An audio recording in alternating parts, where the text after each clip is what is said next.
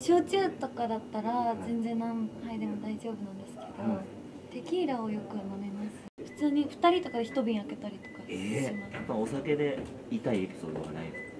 でも一番びっくりしたのが家中のフィルター洗ってありました。朝起きたら。空気清浄機と浴室乾燥機とキッチンとエアコンのフィルター全部洗ってベランダに干してあった時は震えましたちょっと。